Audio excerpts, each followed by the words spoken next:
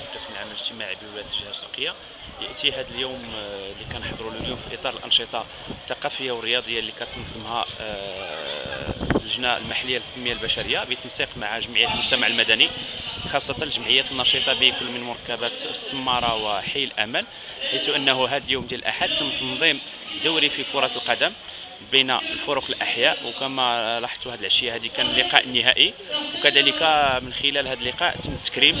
آه، الفريق ديال الشبيبة المعوقة فريق الأشخاص ذوي الاحتياجات الخاصة اللي فاز بالبطولة الوطنية مؤخرا وحرز على الكأس الوطنية. لهذا كتشوفوا أنه في إطار الاحتفالات كذلك تم تنظيم مجموعة من الأنشطة الثقافية منها مسرح منها أناشيد ومنها كذلك احضار بهلوان لأطفال الحي من أجل أننا نخلقوا واحد الجو ديال التنشيط وديال آه الاجتماعي والثقافي داخل المركبات اللي تشنها سيدنا الله ينصرهم خلال الزيارة الملكية الميمونة في شهر يوليوز لمدينه وجده